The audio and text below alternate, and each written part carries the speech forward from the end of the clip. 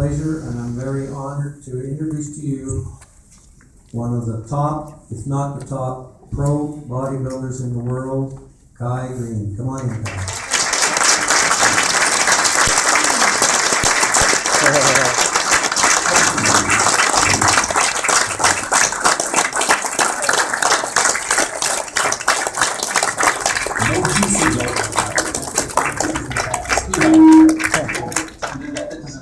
Anymore. This is only with oranges. Only with oranges.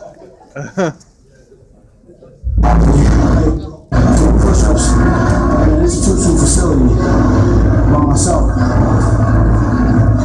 Occasionally, some of the counselors and staff would come in and bring bodybuilding magazines to me.